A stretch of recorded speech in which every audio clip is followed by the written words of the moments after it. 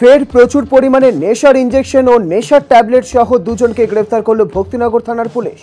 ধৃতদের নাম প্রমীর লামা এবং সুরেশ শাহ। দুজনই শিলিগুড়ির চম্পাশাড়ির বাসিন্দা।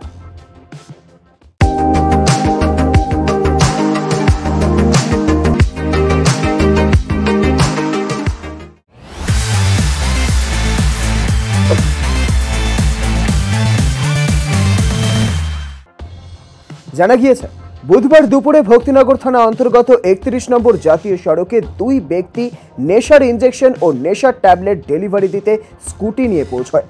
এই খবর পায় ভক্তিনগর থানার পুলিশ। সন্দেহের ভিত্তিতে দুজনের তল্লাশি নিলে স্কুটি থেকে উদ্ধার হয় নেশার ইঞ্জেকশন ও নেশার ট্যাবলেট। এরপরই দুজনকে গ্রেফতার করে পুলিশ। ধৃতদের আগামীকাল জলপাইগুড়ি আদালতে পেশ করা হবে।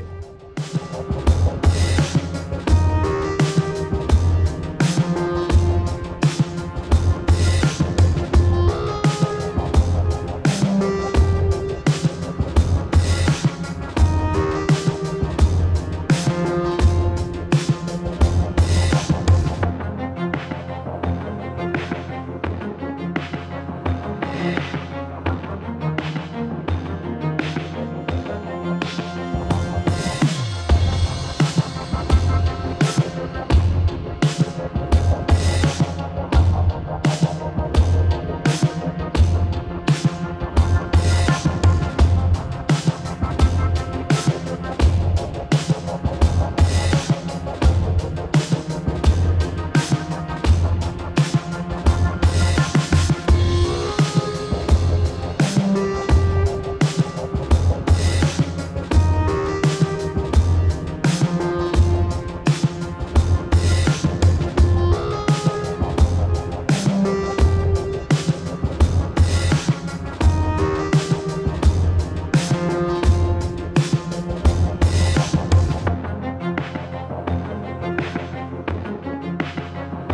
Yeah.